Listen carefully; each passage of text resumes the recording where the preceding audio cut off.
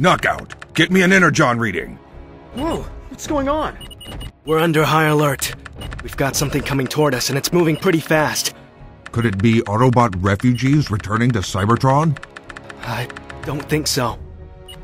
Uh, scanners are showing four distinct and unknown signals. Until I know for sure, I won't open fire. Deactivate the planetary cannons, but maintain high alert. Wait, the Energon readings show dark Energon signals. Quick, get the defense system back online while I call for backup. It's too late. Think Megatron's back with some new goons? No, we know Megatron's energy signal. This is something else. Everyone outside!